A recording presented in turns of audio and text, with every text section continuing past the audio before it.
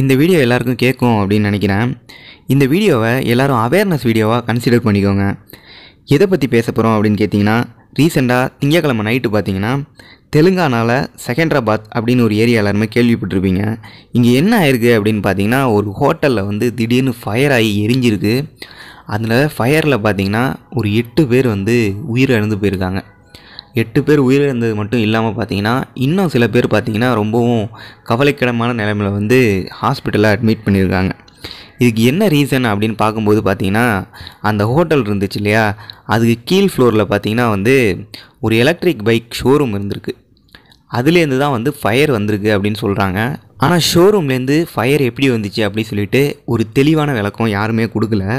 அந்த இடத்துல பார்த்தீங்கன்னா சடனாக வந்து ஃபயர் ஆயிருக்கு. அங்கே உள்ளவங்களாம் ஹெல்ப் ஹெல்ப்னு கத்தியிருக்காங்க அங்கே ரோட்டில் உள்ள பப்ளிக்லாம் வந்து பகுதி தான் ஃபஸ்ட்டு வந்து காப்பாற்றிருக்காங்க அதுக்கப்புறம் தான் ஃபயர் சர்வீஸ் வந்து காப்பாற்ற ஆரம்பிச்சிருந்துருக்காங்க. அந்த இடத்துல பார்த்தீங்கன்னா நெருப்பை விட ஸ்மோக் தான் ரொம்ப அதிகமாக இருந்திருக்கு. பெரும்பாலும் வந்து ஸ்மோக் மூலியமாக மூச்சு திணறி தான் இறந்து போயிருப்பாங்க அப்படிங்கிற மாதிரி சொல்கிறாங்க ஆனால் எனக்கு தெளிவான ஒரு விளக்கம் எதுலேயுமே கிடைக்கல. நானும் எல்லா நியூஸ்லையுமே பார்த்தேன். இந்த வீடியோவை நான் எதை பற்றி பேசிகிட்டு இருக்கேன் அப்படின்னு பார்த்தீங்கன்னா பிபிசி தமிழில் தான் வந்து நான் ஃபஸ்ட்டு இந்த நியூஸை பார்த்தேன். அதுக்கப்புறம் தான் சர்ச் பண்ணி பார்க்கையில் எல்லாமே உண்மை தான் இந்த மாதிரி ஒரு இன்சிடென்ட் நடந்திருக்கு. அதுக்கப்புறம் தான் சர்ச் பண்ணி பார்த்ததுல இப்படி ஒரு விஷயம் நடந்திருக்கு. ரீசன் என்னவாக இருக்கலாம் அப்படின்னு சொல்கிறாங்கன்னா ஷார்ட் சர்க்கியூட்டாக இருக்கலாம். அப்படி இல்லைனா ஓவர் சார்ஜிங் மூலியமாக ஃபயர் இருக்கும் அப்படிங்கிற மாதிரி சொல்கிறாங்க அந்த ஷோரூமோட பேர் அந்த இ பைக் பிராண்டோட நேமு எல்லாமே இங்கே இருக்குது நீங்களே பாருங்கள் நான் பேர் சொல்ல எதுவுமே விரும்பலை. இது எல்லாமே பார்த்தீங்கன்னா நியூஸ்லேருந்து கிடச்ச ஷோர்ஸ் தான். அதுலேருந்து தான் எடுத்து நான் இந்த இமேஜ் எல்லாமே காட்டுறேன். தமிழ்நாடாக இருந்தாலும் சரி அதர் ஸ்டேட்டாக இருந்தாலும் சரி வேர்ல்டில் எந்த இடத்துலையாக இருந்தாலும் சரி இவி பைக்கால் எட்டு பேர் உயிர் போயிருக்கு அப்படிங்கும்போது ஒரு கொஞ்சம் உறுத்தலாக இருந்தது. உங்களுக்கு ஒரு அவேர்னஸ் கொடுக்கணும் அப்படிங்கிறதுக்காக தான் இந்த வீடியோவை நான் போடுறேன்.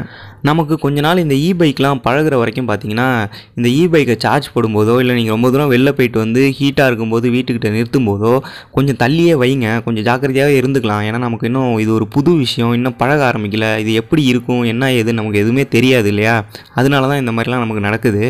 எல்லா ஸ்கூட்டர்ஸுமே எல்லா பைக்குமே இந்த மாதிரி நடக்கும் அப்படின்னு கண்டிப்பாக நம்மளால் சொல்லிட முடியாது. ஏதோ ஒன்று எங்கேயோ ஒன்று நடக்குது கண்டிப்பாக ஆபத்துலேருந்து நம்மளை நம்ம தான் பாதுகாத்துக்கணும். எல்லாருமே இ பைக்கை யூஸ் பண்ணும்போது கொஞ்சம் சேஃபாக யூஸ் பண்ணுங்கள் அதுக்காக தான் இந்த வீடியோ அதுக்காக இதை நினச்சி நம்ம பைக்குமே வெடிச்சிருமோ நம்ம பைக்குமே எரிஞ்சிருமோ அப்படி சொல்லிட்டு யாருமே பேனிக் ஆக வேணாம். மாற்றம் கண்டிப்பாக வந்தே தான் தீரும். அதுக்கேற்ற மாதிரி நம்ம அடாப்ட் ஆகி தான் ஆகணும்.